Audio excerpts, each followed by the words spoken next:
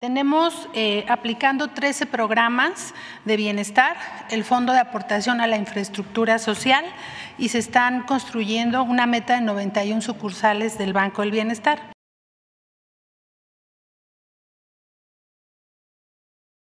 Buenos días.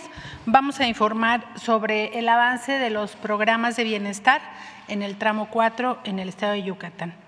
Tenemos eh, aplicando 13 programas de bienestar, el Fondo de Aportación a la Infraestructura Social y se están construyendo una meta de 91 sucursales del Banco del Bienestar. Adelante.